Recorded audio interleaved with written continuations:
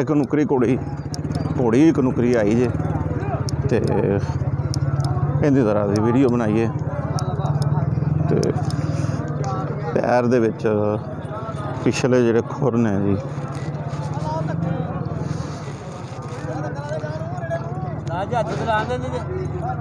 ਹੱਥ ਫੇਰ ਜਿਵੇਂ ਮਰਜ਼ੀ ਫੇਰ। ਉਹ ਜਦੋਂ ਫੜੀ ਖੜਾ ਤਾਂ ਤੂੰ ਫੇਰ ਲੈਂਗਾ ਕੀ ਹੁੰਦਾ? ਫਿਰ ਫਿਰ ਫਿਰ ਲਓ ਜਨਾਬ ਮਾਸ਼ਾਅੱਲਾ ਨੁਕਰੀ ਕੋੜੀ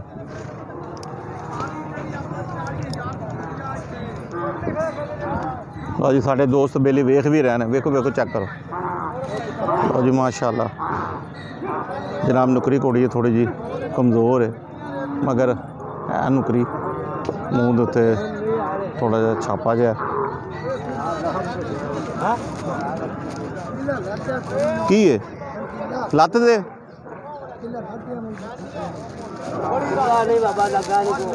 ਨਹੀਂ ਨਹੀਂ। ਵੀਰ ਜੀ ਕੀ ਨਾਂ ਕੀ ਆਪਣਾ? ਜ਼ੋਰ ਜ਼ੋਰ ਜ਼ਹੂਰ ਜ਼ਹੂਰ ਕਿਹੜਾ ਪਿੰਡ ਹੈ ਆਪਣਾ? 368 ਇੱਥੇ ਨੇੜੇ ਹੀ ਕਿਧਰੇ? ਜਮਰੇ ਤੋਂ। ਜੰਗ ਦੇ ਕੋਲੇ? ਜਮਰਾ ਜਮਰਾ। ਜਾਮਰਾ। ਤੇ ਇਹ ਘੋੜੀ ਦੀ ਕਿੰਨੀ ਉਮਰ ਹੈਗੀ ਜੀ? ਮੂੰਹ ਚਾਰ ਹੋਣ ਲੱਗੀ ਹੈ? ਤੇ ਕਿੰਨੇ ਪੈਸੇ ਮੰਗਦੇ ਜੀ? 1 ਲੱਖ 70 1 ਲੱਖ 70 ਹਜ਼ਾਰ ਰੁਪਈਆ। ਲਓ ਜੀ 1 ਲੱਖ 70 ਹਜ਼ਾਰ ਰੁਪਈਆ। ਇਹ ਕੋ ਟਾਂਗੇ ਟੁੰਗੇ ਚ ਲਾਈ ਹੈ ਜਾਂ ਐਵੇਂ ਪੇਟ ਸਵਾਰੀ ਤੇ? ਹਾਂਜੀ। 1 ਲੱਖ 70 ਹਜ਼ਾਰ ਰੁਪਇਆ ਜਨਾਬ। ਘੋੜੀ ਦਾ ਮੰਗਦੇ ਪਿਆ ਜੇ। ਤੇ ਅਸੀਂ ਥੋੜਾ ਜਿਹਾ ਟੋਰੋ ਖਾ ਵੀਰ ਜੀ। ਲਓ ਜੀ ਨੁਕਰੀ ਘੋੜੀ ਹੈ ਜਨਾਬ 1 ਲੱਖ 70 ਹਜ਼ਾਰ ਰੁਪਇਆ। ਜਨਾਬ ਇਹਦਾ ਮੁੱਲ ਮੰਗਦੇ ਜੇ। ਤੇ ਘੋੜੀ ਜਿਹੜੀ ਹੈ ਨਾ ਉਹ ਥੋੜੀ ਜਿਹੀ ਕਮਜ਼ੋਰ ਹੈਗੀ ਹੈ। ਮਿਹਰਬਾਨੀ ਮੋਈ ਸੋਨੀ।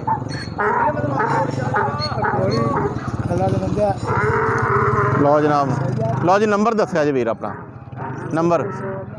44 0344 77 77 13 13 135 135 ਤੇ ਨਾਂ ਤੁਹਾਡਾ? ਜ਼ਹੂਰ। ਲਓ ਜੀ ਜ਼ਹੂਰ ਸਾਹਿਬ ਕੋਲੇ ਘੋੜੀ ਜੀ 170 ਜਨਾਬ ਇਹ ਘੋੜੀ ਦਾ ਮੰਗਦੇ ਨੇ ਤੇ ਪੈ ਸ਼ਹਿਰ ਤੁਹਾਨੂੰ ਅਸੀਂ ਵਿਖਾ ਦੇਣੇ ਖੁਰਸ਼ੋਰ ਤੁਸੀਂ ਵੇਖੋ। ਮਾਸ਼ਾਅੱਲਾ ਖੁਰਸ਼ੋਰ ਤੁਸੀਂ ਵੇਖੋ। ਔਰ ਉਸ ਤੋਂ ਬਾਅਦ ਨਾਲ ਤੁਸੀਂ ਪਿਛਲੇ ਪਾਸੇ ਜਾਓਗੇ ਤੇ ਇਹ ਪਿਛਲੇ ਵੀ ਖੁਰ ਤੁਸੀਂ ਵੇਖੋ। ਕਰ ਲਓ ਕਰ ਲਓ ਯਾਰ ਕੀ ਹੋ ਗਿਆ ਜੇ? ਇਹ ਵੀ ਲੈਣ ਵਾਸਤੇ ਹੀ ਆਏ ਨੇ ਭਰਾ। ਲਓ ਜਨਾਬ ਜ਼ਰਾ ਸੌਦਾ ਸੁਦਾ ਹੋਣ ਲੱਗਾ ਜੀ 1,70,000 ਰੁਪਈਆ ਮੰਗਦੇ ਨੇ। ਤੇ ਲੱਗਾ ਤਾਂ ਲੱਗੇ ਹੋਏ ਨੇ ਜਨਾਬ। ਤੇ ਜਨਾਬ ਵੀਡੀਓ ਚੰਗੀ ਲੱਗੀ ਹੈ ਬਤੇ ਜੀ ਲਾਈਕ ਐਂਡ ਸ਼ੇਅਰ ਜ਼ਰੂਰ ਕੀਜੇਗਾ। ਇਨਸ਼ਾਅੱਲਾ ਨਈ ਵੀਡੀਓ ਦੇ ਵਿੱਚ ਫਿਰ ਮੁਲਾਕਾਤ ਹੋਵੇਗੀ ਤੁਹਾਡੇ ਨਾਲ। ਨਹੀਂ ਡੇਢ ਦੀ ਤੇ ਇਹਨੂੰ ਖਾਣੇ